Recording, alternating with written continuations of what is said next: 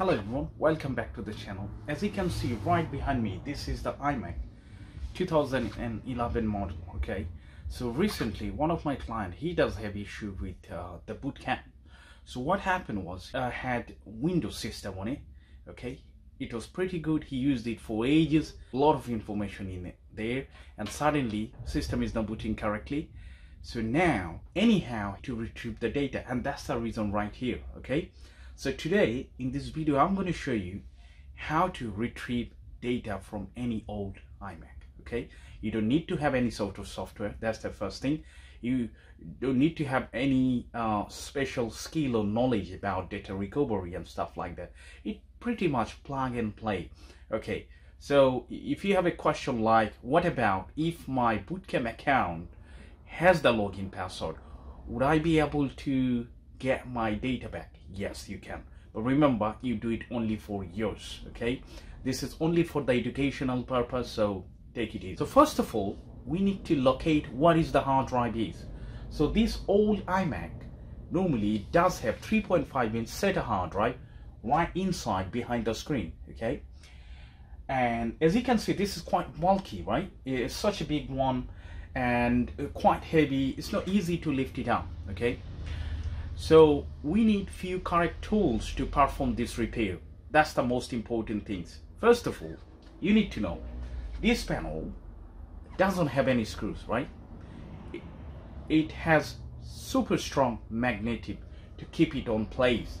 So we don't need any screwdriver to open up the top panel, but we need the suction cups, okay? So I was able to get this sort of suction cups this sort of suction cup from um, online. I had it anyway. If you don't have you can just get it from eBay or Amazon. It's super simple with the ring and stuff so we can pull this out. And then we need two types of screw driver. Don't ask me which size. Just check online like which um, size of it. To pull this out. Okay. So first of all let's get into the point. I'm gonna stick in here as you can see. And then I'm gonna stick right there and then what I'm going to do I'm going to start pulling from one side as you can see okay? Like that it's simple. And just take this out. You can see there is no screws and keep it in a clean surface okay? Somewhere. I'm going to keep right here. This is the safest place. So once the top panel has removed we need to open up 4 and 3 7 screws 4 in the left hand side and 3 on the right hand side that's what I believe. And the screws are right next to the magnetic field so make sure you do have a long nose plier or might be uh, tweezer to hold it. As you can see uh, because of the magnetic field is quite strong it pulls the screws. So I need some help uh, with the long nose plier or the tweezer. And once the seven screws removed pull this one from left hand to right hand side but be careful. There are lots of flags okay? And this is the shortest one. So first we'll take this out and then we'll check what we could do all right? So it would take the fingertips to pull this out. There is a little prong in here.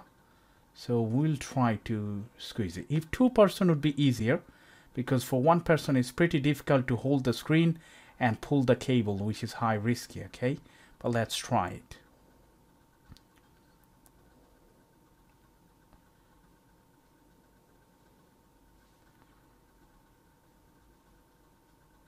it is removed.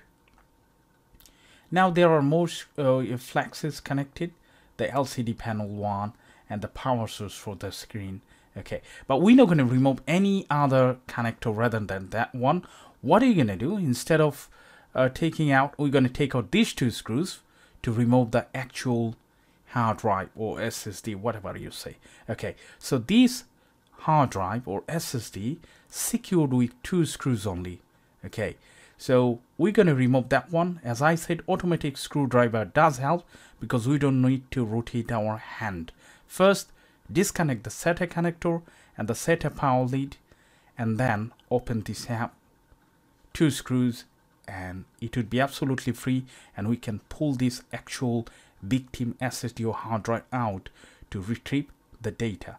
Okay, so this is the part one. If you know already how to take out the hard drive you don't have to watch it anyway okay and now this hard drive we're going to connect into different PC or Mac so if you want to retrieve the data from bootcamp make sure you connect this drive to Windows PC but if you want to retrieve data from Mac iOS then you need to connect in to the iMac or MacBook Pro or Mac here okay?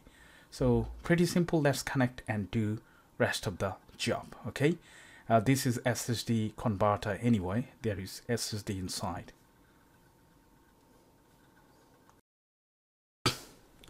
So as you can see this is the actual uh, SSD uh, converter.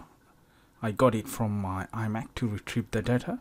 If you do have let's say 3.5 inch SATA hard drive you need a this sort of caddy that you can see right next to the monitor okay? Uh, let me show you how to connect and everything.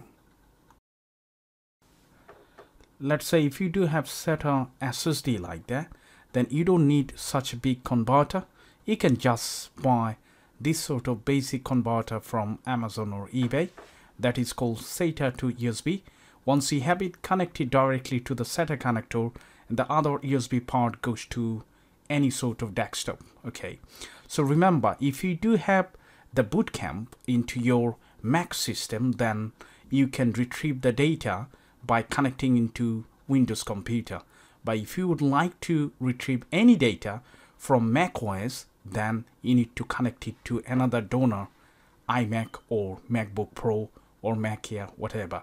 Because of we are retrieving the data from bootcamp okay so we're gonna connect into the uh, desktop machine and we'll locate the file. So I recorded the screen the whole screen. How I done it? Let me show you into the main screen. Alright so now as you can see there are two partition. One of them my external drive another one my C drive okay? So if I connect the SSD that taken out from the iMac it would pop up right here as you can see. All right? That's the one. It says boot camp if you look at it carefully okay? So if you're able to see this partition double click on it and then try to find the folder is called user okay? At the same time um, I'm gonna get into this PC and open up the destination drive where I'm to copy every single thing all right so let's open the user first. This is the one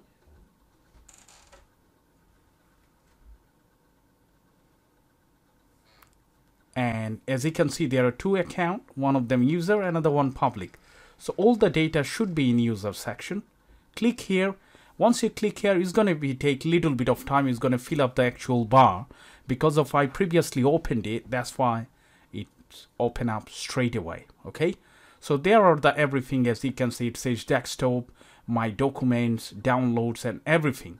So if you do have any data in bootcamp uh, account user then you can find right there. And when I clicked on the desktop I can see there are the same file that I left before the iMac broken down. So those are the file we're gonna back it up. So now I'm to get into my external drive where I want to save the data and I will create a folder. So let's open up the new folder and write it down like kind of bootcamp backup or whatever you like it's up to you and then open it up and inside I'm going to create another folder which is called desktop so if I create desktop, I'm going to copy every single thing from the desktop to the desktop. So it's not going to mix up all the files and folders. I'm going to select all of them um, and then I'm going to copy and paste in there. And there are some icons, you know, like application kind of, you know, WhatsApp and then PDF or whatever it is. Uh, those not going to be copied because those are just a shortcut so let's select it again and then try to copy all of them copy don't cut it and then we're going to get into the destination folder and we're going to copy okay? So that's the procedure you need to do one by one. It takes time if uh, your actual uh, you know victim drive uh, hard drive then it would take even much longer time. But my one was SSD 2.5 inch into the 3.5 inch converter so it didn't uh, take that long. And then I'm going to create another folder and whatever in the document section I'm going to copy all of them. So let's create another folder and rename it with the documents. And then we can copy every single thing in the document section. So this is the way you need to copy everything. And I will carry on until the end. And I will open up a couple of random files to see if the files are not corrupted or if it is working properly or not. So stay with me and see until the end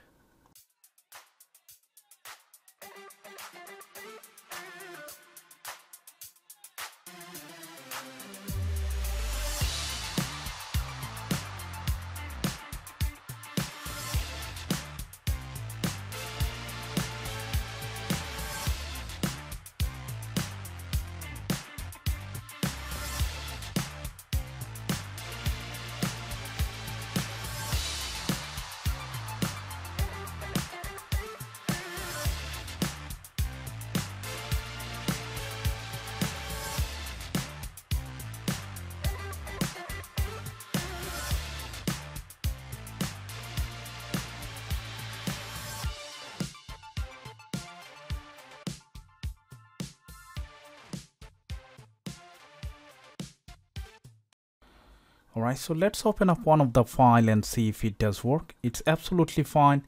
Everything is working. I tested video, audio, and the PDF file.